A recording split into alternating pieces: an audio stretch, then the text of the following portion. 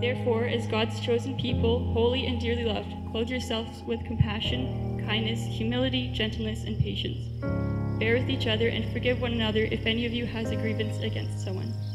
Forgive as the Lord forgave you, and over all of these virtues put on love, which binds them all together in perfect unity. I'm no marriage expert, but I'm willing to bet God is, and I would trust him in what he said there. All of these qualities will be important for both of you in your marriage, and I pray that you will remember that daily. Was reminded of a time when Colin and I were sitting in his car, and he told me um, that he was like, one thing that I'm sure of is that I want to marry Jeannette. And he's been decided on you since he first met you. Colin Matthew Stradholt. You take Jeannette Ruth Wicker as your lawfully wedded wife to live in the holy estate of matrimony? Will you honor her, love her, comfort her, and cherish her from this day forward, forsaking all others, keeping only unto her for as long as you both shall live? He said, I do. Jeannette Ruth Wicker, do you take Colin as your lawfully wedded husband to live in the holy estate of matrimony? Will you honor, love, comfort, and cherish him from this day forward, forsaking all others, keeping only unto him as long as both shall live? She also said, I do. Our Heavenly Father, we are so grateful for this beautiful day that you've given to us. This is the day that you have made. We want to rejoice and be glad in this day. We thank you for what you're about to do between Jeannette and Colin and their families. You are a good God. In your own time, you make all things beautiful. This is a beautiful day. We commit everything we'll do today in your hands. In the name of Jesus. Amen.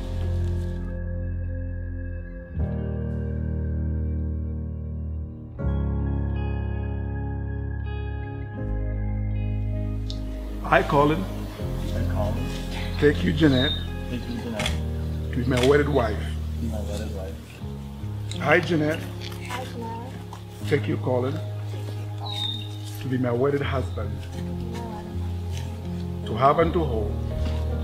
From this day forward, for better, for worse, for richer, for poorer, in sickness and in health, to love and to honor, and cherish, till death do us part.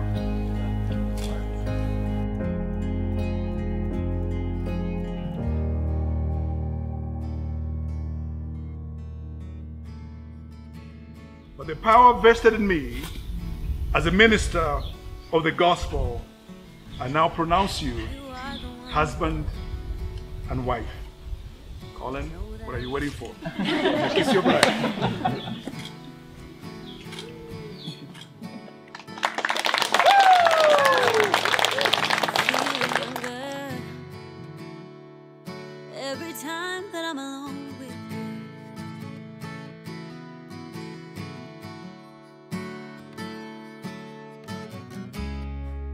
We were sitting in a parked car, stealing kisses in the front yard.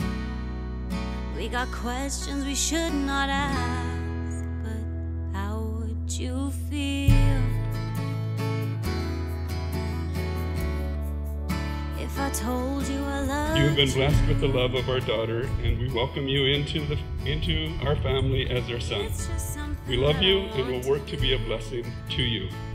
We will pray for both of you, and we'll do everything God shows us to do to support you as a new independent family. spending my life falling deeper in love with you.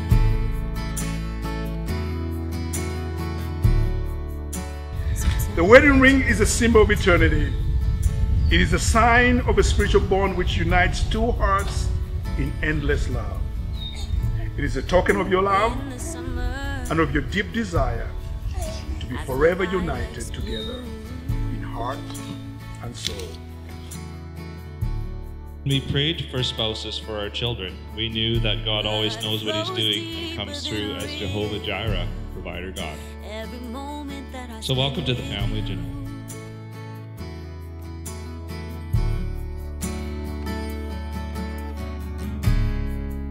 We were sat up on our best friend's roof. I had both of my arms around you, watching the sunrise replace the moon. But how would you feel?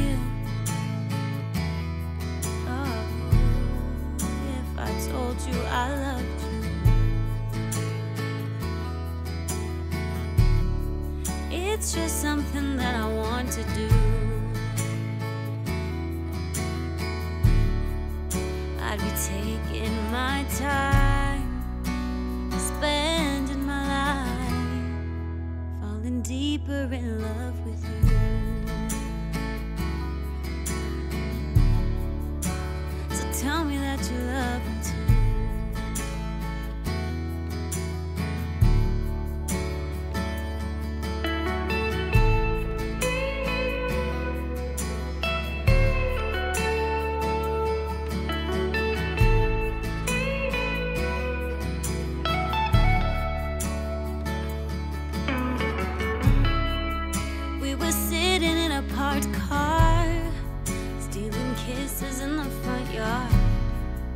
We got questions we should not ask, but how would you feel